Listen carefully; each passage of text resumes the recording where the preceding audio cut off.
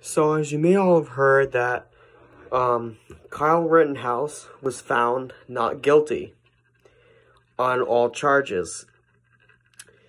Um, he proved that he was doing it in self-defense.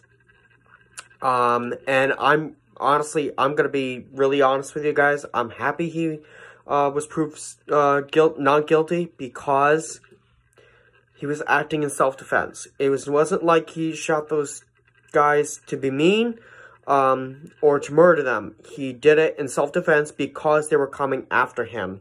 If you watch the video, um, when they played in the video, he was they were actually coming after him. So he what he do to defend himself? He shot them, and not that it's a good idea to kill somebody, but if someone's coming after you, you're gonna automatically act act in self defense.